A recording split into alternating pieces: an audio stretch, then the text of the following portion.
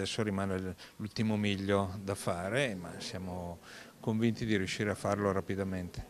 Ultimo miglio da percorrere verso il traguardo, ovvero la ripresa del cantiere delle paratie sul lungolago. Oggi nuovo aggiornamento fra il sindaco di Como Mario Lucini e il governatore Lombardo. Una riunione a porte chiuse in Camera di Commercio a margine dell'incontro sul progetto regionale degli angeli anti-burocrazia per fare il punto alla luce degli ultimi sviluppi come le modifiche richieste dalla soprintendenza in conferenza dei servizi che verranno inviate entro 15 giorni e il via libera che si attende dall'autorità nazionale anticorruzione. Ci sono tutta una serie di passi da fare, lo stiamo facendo, sono in contatto diretto con il dottor Cantone per risolvere la questione nel più breve tempo possibile. L'importante è partire, è importante risolvere le questioni perché ogni giorno ce n'è una nuova, però siamo determinati a risolverle. Abbiamo risolto tutte le criticità riguardo al finanziamento, alla copertura finanziaria, riguardo alle procedure, riguardo ai contenziosi. Il diavolo sta nei dettagli, come si dice eh, però siamo ottimisti.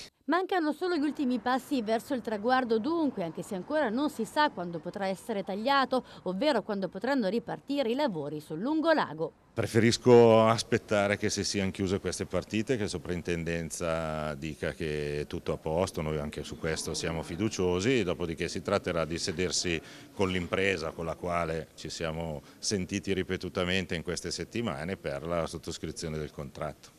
Mentre a Como si seguono con attenzione gli sviluppi dell'eterno cantiere delle paratie sulla sponda occidentale del Lario, ci si interroga sul futuro della variante della Tremezzina, inserita dal governo nello Sblocca Italia e in parte finanziata purché il cantiere parta ad agosto. Se non c'è la proroga, l'ho già detto, è impossibile tecnicamente rispettare i tempi e quindi non si potrà fare. Se invece nel mille proroghe va la nostra proposta di rinviare o di, di considerare non eh, l'approvazione del progetto, non l'apertura del cantiere, cioè se ci sono i tempi tecnici allora sì, noi le risorse le troviamo, nonostante i tagli che sono tanti